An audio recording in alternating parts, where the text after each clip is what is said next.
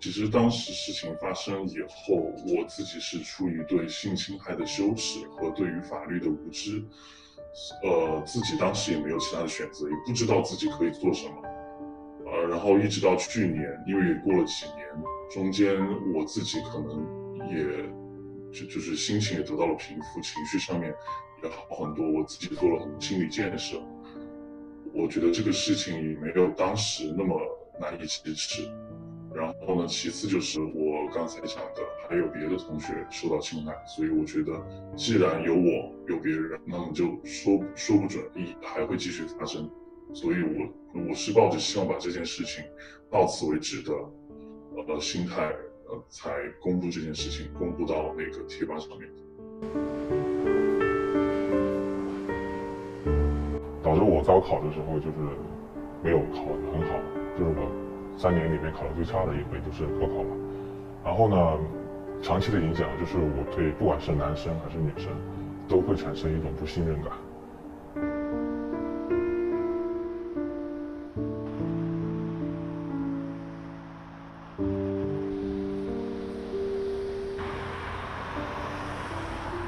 是时间跨度长，还有两港作案的地点其实非常多。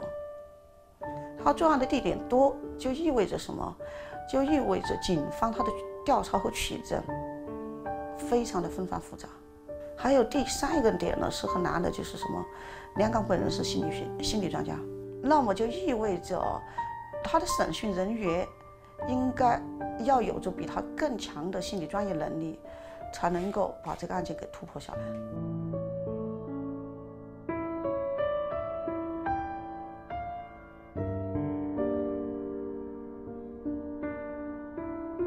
这是我们国家首例的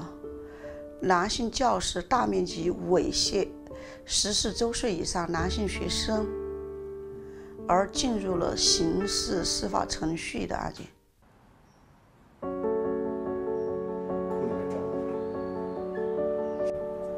我们自己受到的一些教育里面，很少有去涉及到要去保护男生这样的一个说法。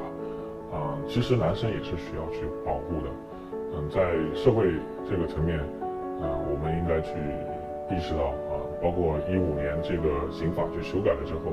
那很少有人去了解到啊，猥亵罪其实是有保护去男生的，保护男生的。嗯，甚至未来我希望就是能够看到男性被强奸，这个也也罪名也是被也是可以成立的。我希望通过我这种站出来做做出这样子的一个表率吧，算是表率吧，能够引起更多人的重视，包括呃现在这个呃校园里面的那种老师啊，还有同学们啊，都希望他们去重视一下这种性教育，从呃小学，甚至来说小学就应该有这样子的一些课程。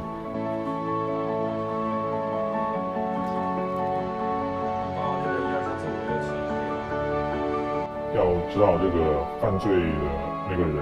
才是可耻的，我们作为受害者不是可耻的，我们应该跟那个可耻的人去做